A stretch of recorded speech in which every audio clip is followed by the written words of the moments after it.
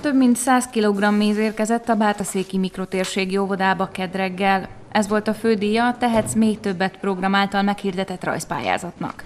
A programot két évvel ezelőtt hívták életre annak érdekében, hogy felhívják a figyelmet az ágazat hanyatlására és a méhek szerepének fontosságára. Az óvodások saját eszközeikkel mutathatták meg, miért fontosak életünkben a méhek. Több mint 6300 pályázatot kaptunk ez idő alatt, ami azt kell, hogy mondjam, minden várakozásunkat felülmúlta. Hat országból, 707 óvodából érkeztek pályaművek, ami azt jelenti, hogy minden hetedik óvodából kaptunk rajzot, és nem csak egyet, hanem többet is, úgyhogy tényleg le a kalappal az óvisok előtt, meg a felkészítőik előtt, mert nagyon komolyan vették ezt a feladatot. Volt, aki még viaszból öntötte ki a rajzát, volt, aki a kis propolisszal szórta be a virágot, hogy még élethűbb legyen, de a hajtogatós technikától, színezős technikáig mindent kaptunk.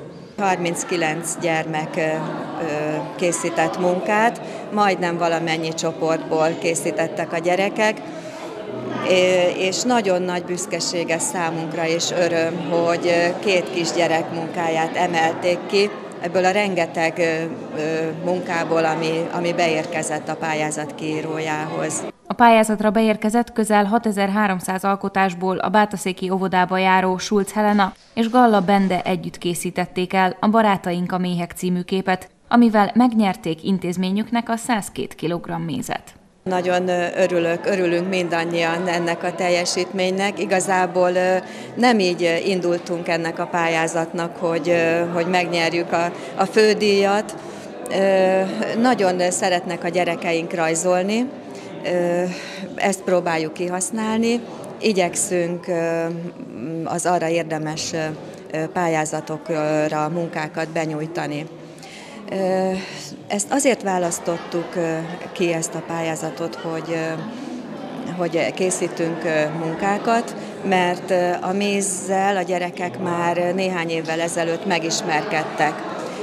Ugye pár éve lehetőségünk volt arra, nem is egy alkalommal, hogy mézes reggelin vehettek részt a gyerekeink. Nagyon-nagyon élvezték, aztán későbbiek során ez egy picit átalakult annyiban, hogy egy helyi méhészt hívtunk meg, hogy különböző ismereteket, tudást próbáljon átadni a gyerekek számára a méhek életével kapcsolatban, vagy egyáltalán milyen eszközöket használ egy méhész, és ezt felhasználtuk arra, hogy a rajzok készítéséhez megfelelő motivációt, élményt tudjunk a gyerekeknek nyújtani.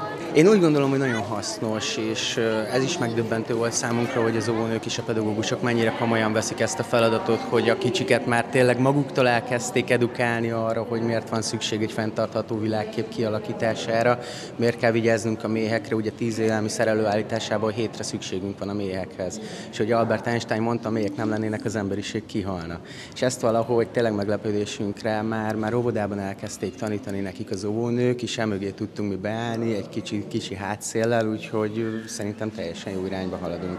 A beküldött alkotásokat, így a Bátaszéki gyerekek rajzait is megtekinthetik az érdeklődők Budapesten, a Magyar Természettudományi Múzeumban, Európa legnagyobb beporzó tárlatának részeként december végéig.